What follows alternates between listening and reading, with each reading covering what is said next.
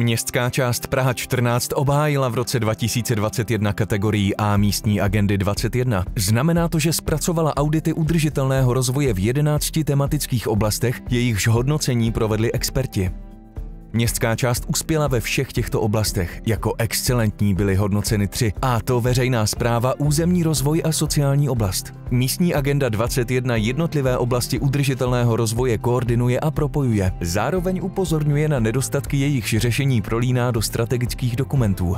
Do přípravy strategických dokumentů městská část zapojuje místní obyvatele, spolky, podnikatele, ale také děti a mládež. Spolupracujeme s Institutem plánování rozvoje hlavního města Prahy na budoucí podobě městské části. S odborným týmem jsme zpracovali plán globální odpovědnosti a klimatický plán. V současné době připravujeme Smart City koncepci, která napomůže zefektivnit komunikaci mezi úřadem a občany. Městská část usiluje o kvalitní architektonická řešení projektů a o využití architektonických soutěží. Z mezinárodní architektonické soutěže vznikl projekt komunitního centra Hlubitínská 55, takzvaná H55. Moderní budova nabízí volnočasové, sportovní a kulturní aktivity nejen pro obyvatele Hloubětína.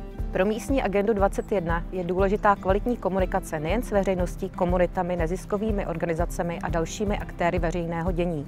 Městská část realizuje participativní rozpočet, poskytuje dotace či vytváří příležitosti pro setkávání a vzájemnou spolupráci. Ambici rozvíjet se smysluplně a šetrně k životnímu prostředí Praha 14 dokazuje řadou aktivit a projektů. Městská část zmodernizovala své radniční budovy, které momentálně zaručují úspory až 50% v rámci úspory energií. Postupně zrekonstruovala, zateplila a instalovala rekuperace ve školkách a školách. V popředí zájmu městské části je také zadržování vody v krajině, takže realizujeme projekty zelených střech na základních školách a budujeme zasakovací místa v sídlištích. Praha 14 patří mezi pražské městské části s největším podílem zeleně. V uplynulých letech byly revitalizovány park Učeňku, meandry Rokitky a Hostavického potoka a například také park v ulici Pilské.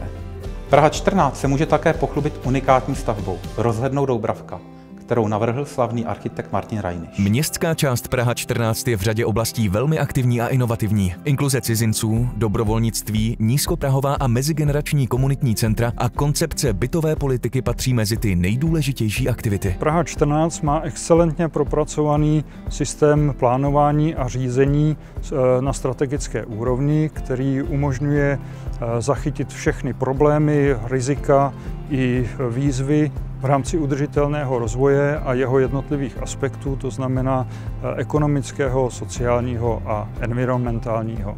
Naplňování principů udržitelného rozvoje je pro městskou část základním nástrojem pro zvyšování kvality života a udržitelnosti území.